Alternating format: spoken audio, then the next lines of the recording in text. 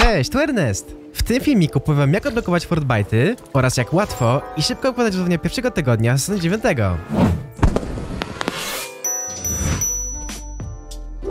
Nadszedł czas na kolejne 10 tygodni wyzwań.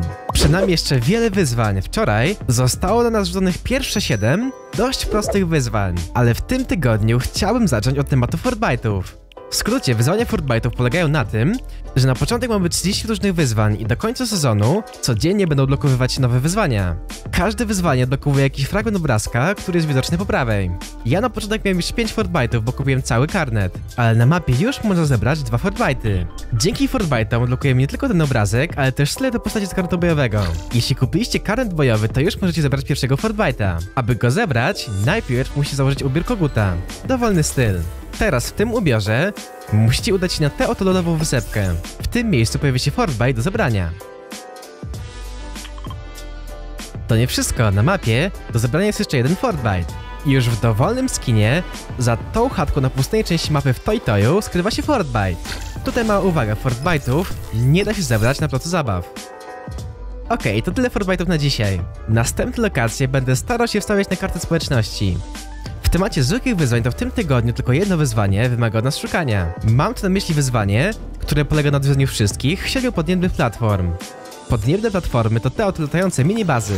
Jest ich w sumie 7 i pierwszą taką platformę znajdziecie tuż obok wulkanu. Następna jest przy oazie odpoczynku.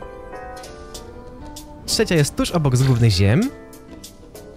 Czwarta jest obok wypasionej werwy.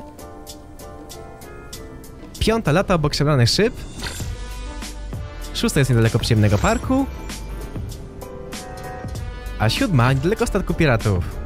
Te platformy się nie ruszają i nie ma znaczenia w jakiej kolejności je odwiedzicie. Następne wyzwanie, które chciałbym wam mówić to te, które zlecę nam zadać obrażenia przeciwnikom, będąc od nich wyżej o ileś pięter. To zależy na którym etapie tego wyzwania jesteście. Najlepszą miejscówką do tego wyzwania są oczywiście neowykrzywione. Tutaj budynki mają najwięcej pięter na całej mapie. Pamiętajcie, że musicie być o te kilka pięter z przeciwnikiem. Więc najszybciej będzie jak wylądujecie na dachu jakiegoś budynku, zbierzecie broń i znajdziecie sobie kogoś o kilka pięter niżej od was. Co do pierwszego wyzwania w tym tygodniu, to chyba jest najprostsze w tym tygodniu. Wystarczy użyć powietrznego strumienia w danej miejscówce, aby wykonać to wyzwanie. Chciałem tylko rozjaśnić. Reszta wyzwań to jasne powtórki, więc nimi się już nie zajmę. Po wykonaniu wszystkich wyzwań w tym tygodniu otrzymacie taki oto na wczytywania. Na miniganie są koordynaty, które wysyłają nas dokładnie tą lukę w trawie. Tutaj po wykonaniu wszystkich wyzwań pierwszego tygodnia pojawi się gwiazdka, która da wam poziom karnetu. I to tyle. Ja już dziękuję za oglądanie, życzę powodzenia i do zobaczenia w bosie bojowym.